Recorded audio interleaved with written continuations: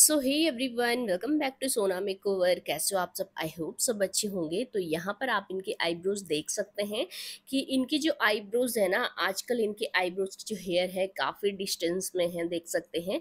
तो कई बार ऐसा होता है कि हमारे आईब्रोज की जो ग्रोथ है, वो अनइवन हो जाती है, बहुत लाइट हो जाती हैं आईब्रोज तो चलिए, आज हम यहाँ पर फिर से लेकर आए हैं एक आईब्रो शेपिंग का ट्यूटोरियल तो कुछ इस तरीके से पहले मैं इनर कॉर्नर से एक लाइन जो है यहाँ पर क्रिएट करूँगी और आज जो मैं प्रोडक्ट यूज़ करी हूँ, वो है अनस्तासिया डीप ब्रो जो कि आपने सभी बड़े आर्टिस्ट के पास देखा होगा एंड इसका जो रिज़ल्ट है ना, बहुत अच्छा है। ये क्रीमी टेक्स्चर है इसका और बहुत ही नेचुरल तरीके से इससे आईब्रोज फील होती है। मतलब अगर आपको प्रॉपरली आप किसी भी शेप में जो है इसको यूज़ कर सकते हैं मतलब आईब्रोज की शेप चेंज कर सकते हैं, वो वो पूरी की पूरी नेचुरली लगेगी।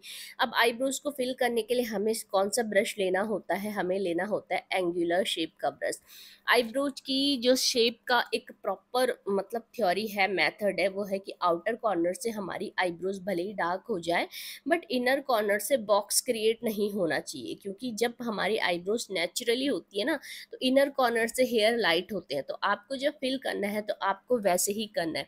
माना कि मेकअप के थ्रू आप लोगों को किसी चीज़ को इन्हेंस करना है, लेकिन उसको बिल्कुल भी फेक नहीं बनाना है। अब मैं यहाँ पर आई बेस बनाऊँगी। आई बेस बनाने से क्या होगा कि हमारी जो आईब्रोज आईब्रोज हैं, उनके लिए उनका मतलब उनकी जो शार्पनेस है वो बढ़ जाएगी प्रॉपर नीट एंड क्लीन तरीके से वो दिखेंगी और ऊपर से आई बेस भी बन जाएगा। तो जब आप कलरफुल आई मेकअप करते हो ग्लिटरी आई मेकअप करते हो तो मैं आपको हमेशा यही सजेस्ट करूँगी कि आप पहले आई मेकअप करो। क्योंकि सपोज़ आपने जो है बेस मेकअप पहले कर लिया और उसके बाद आई मेकअप करते टाइम पे हो सकता है आपसे ग्लिटर गिर जाए या फिर मशकारा लग जाए। हालाँकि वो चीज़ें सही हो जाती हैं, बट उतना आपका टाइम वेस्ट होता है। तो इसलिए आपको जो है पहले ही आई मेकअप करना चाहिए, स्पेशली जो बिगिनर्स हैं उन लोगों को पहले आई मेकअप करना चाहिए, ताकि कोई भी प्रोडक्ट गिरे, मस्कारा लगे, लाइनर लगे, ग्लिटर गिरे, कुछ भी गिरे, सिमर गिरे तो आप उसको जो है वाइप अप कर सकते हो।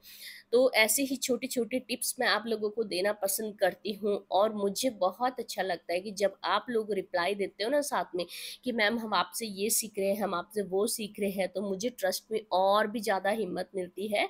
कभी अगर मैं थकी हुई भी रहती हूँ ना तो फिर भी मेरा मन करता है वीडियो बनाने का कि नहीं यार, दो ढाई लाख लोग मेरा इंतज़ार कर रहे हैं, मेरी वीडियो का इंतज़ार कर रहे हैं।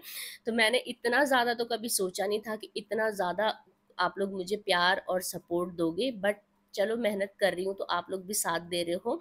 और मैं ये चाहती हूँ कि जो लोग मुझसे सीख रहे हैं, बाहर पैसे खर्च करके सीखने की उनको ज़रूरत ना पड़े, क्योंकि मैंने भी मनी के नाम पे बहुत धोखे खाए हैं, कोर्स के नाम पे बहुत धोखे खाए हैं। इसलिए मैं नहीं चाहती कि जो मेरे साथ हुआ है, वो आप लोगों के साथ भी हो। इसलिए मैं आप लोगों को जैसे सिखाती हूँ, आप लोग उसको नोट किया कीजिए। मिलते हैं नेक्स्ट वीडियो में।